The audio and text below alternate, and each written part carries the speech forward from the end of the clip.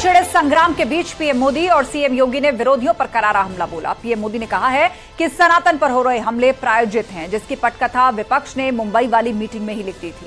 लेकिन इस बार लड़ाई सनातन विरोधियों से है, जिसका जवाब जनता देने वाली है। आपको एक रिपोर्ट दिखाते हैं, कैसे 2024 में मुकाबला असली सनातन वर्सेस नकली हिंदू तक आ गया है।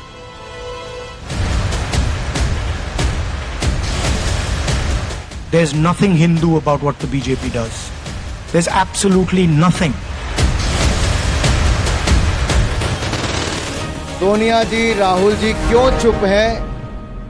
संविधान और सनातन धर्म दोनों के अपमान पर। राम एक वास्तविकता है। राम भारत के सत्य सनातन धर्म की एक शाश्वतता है। आने वाले दिन में एक एक पाइक का हिसाब देश का सनातनी हिंदू लेगा।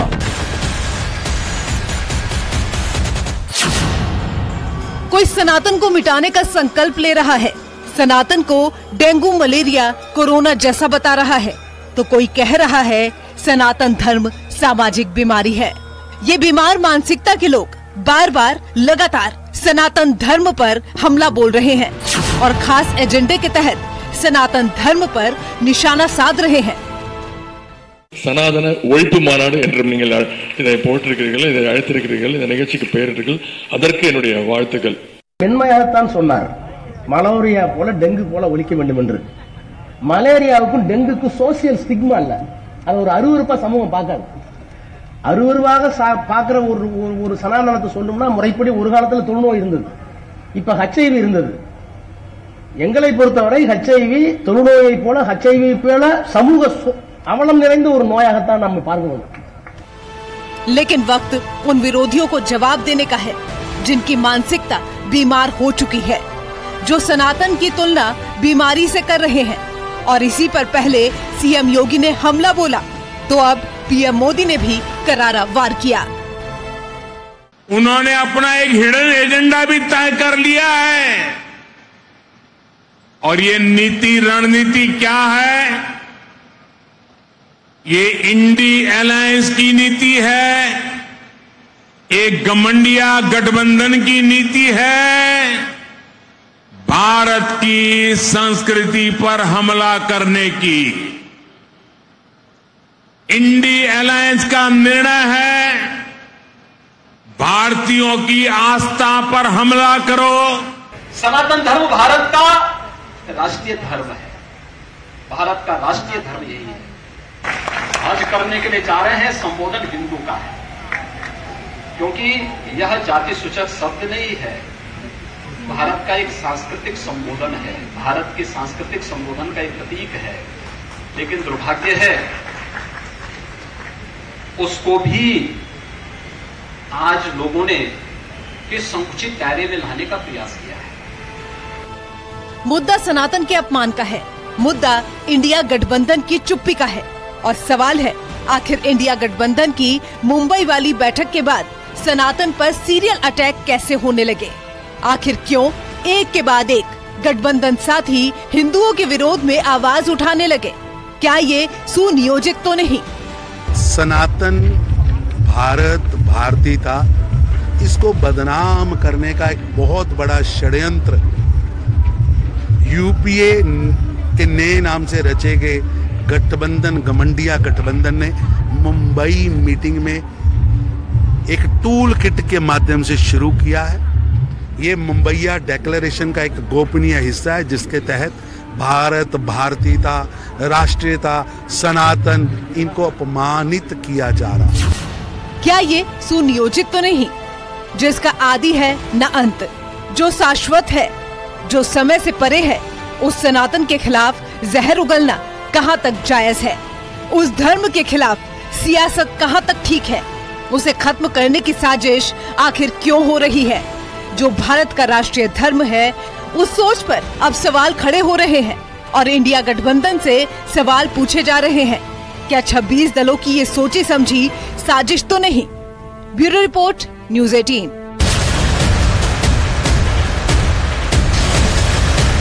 There's nothing Hindu about what the BJP does. There's absolutely nothing. Sonia ji Rahul ji क्यों चुप हैं संविधान और सनातन धर्म दोनों के अपमान पर राम एक वास्तविकता है राम भारत के सत्य सनातन धर्म की एक शाश्वतता है आने वाले दिन में एक एक पाई का हिसाब देश का सनातनी हिंदू लेगा।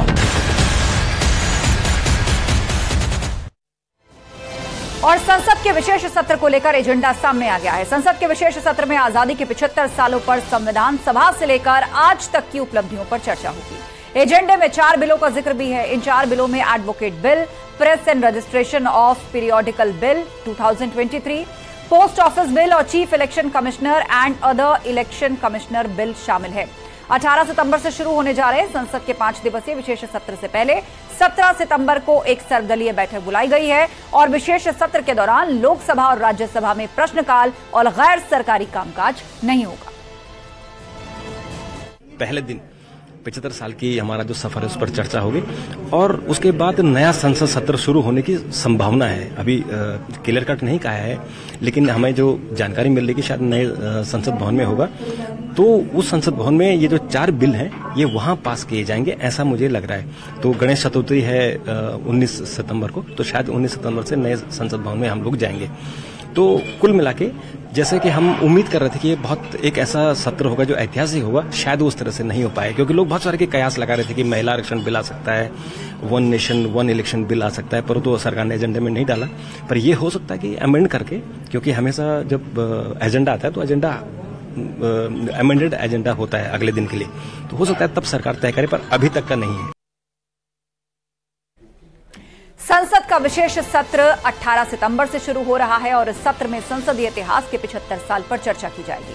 और सूत्रों के मुताबिक, जहाँ इस दौरान संसदीय और लोकतंत्र और गौरवशाली इतिहास पर चर्चा की जाएगी तो वहीं इस दौरान संसदीय इतिहास के काले अध्याय पर भी चर्चा होगी।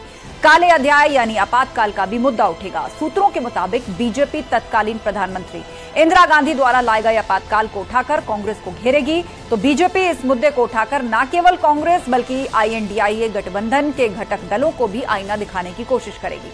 क्योंकि आईएनडीआईए गठबंधन में कांग्रेस का साथ देने वाली आरजेडी, जेडीयू, समाजवादी पार्टी आपातकाल के विरोध से उपजी पार्टी है। और आपातकाल के दौरान इन पार्टियों के बड़े नेताओं को जेल तक भेजा गया था। 18 तारीख से संसद का विशेष सत्र शुरू हो रहा है। केंद्र सरकार इस सत्र में 75 साल के संसदीय इतिहास पर चर्चा करेगी।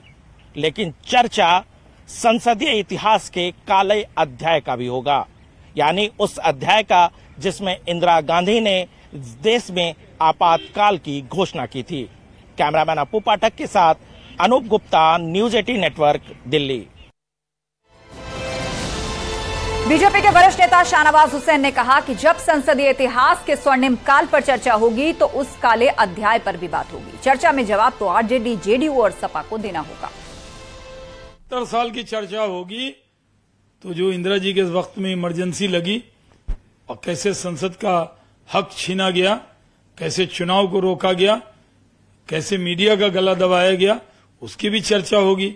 इस वजह से थोड़ा ये दिले नादान परेशान है उन लोगों का। ये जो कांग्रेस का गठबंधन है, क्योंकि इसको तो हम कांग्रेस का ही गठबंधन कहते हैं, इसमें जितने लोग हैं वो कांग्रेस के खिलाफ लड़कर ही नेता बने। अब ये सब बात वो अपना छिपाएँगे तो उनके उदय का नहीं होगा। लालू जी छपड़ा से जीत के आए थे सतहत्तर में, कांग्रेस को ही हरा के आए थे। रामविलास पासवान जी आए थे। ये सारी पार्टियाँ इमरजेंसी की उपज हैं। कैसे बैठ जाते हैं ये लोग साथ में? कितना इनको मारा पीटा था कांग्रेसियों ने। मार मार के पीठ लाल कर देते थे। फिर भी ये उन्हीं के साथ बैठे हुए अयोध्या में राम मंदिर निर्माण का काम तेज़ी से चल रहा है। खुदाई में मिले प्राचीन मंदिर के अवशेष रखे गए हैं, लेकिन एसपी का आरोप है कि मंदिर पर बीजेपी राजनीति कर रही है। संभल से एसपी, सांसद शफीकुर रहमान बर्ग का राम मंदिर निर्माण में खुदाई के दौरान मिली मूर्तियों पर बड़ा बयान सामने आया। उन्होंने कहा, अयोध्या में मस्जिद थी और हमेशा मस्जिद ही रही।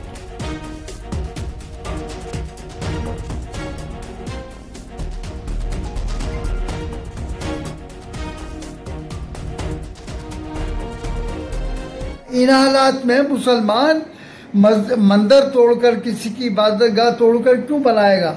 और क्यों उस की निशानियाँ उसमें छोड़ेगा? अगर मस्जिद बना बना ही रहा है वो तो इस किस्म की निशानियाँ वो क्यों छोड़ेगा?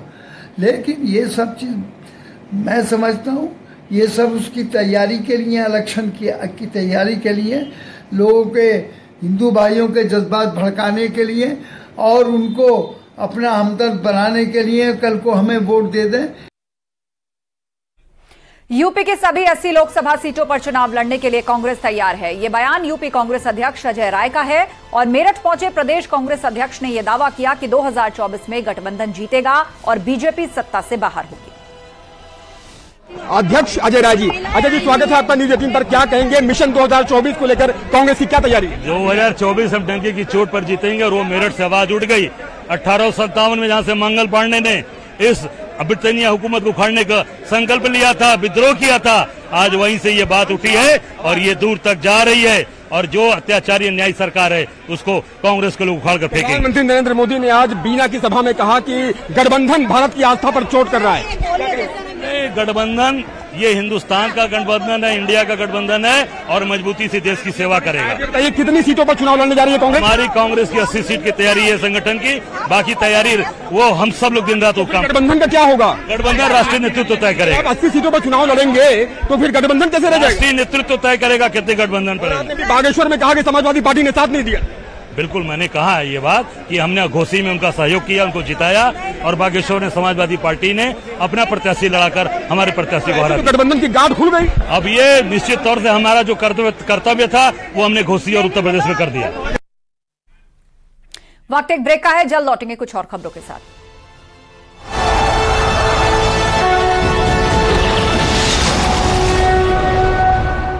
पेट सफ़ा आयुर्वेदिक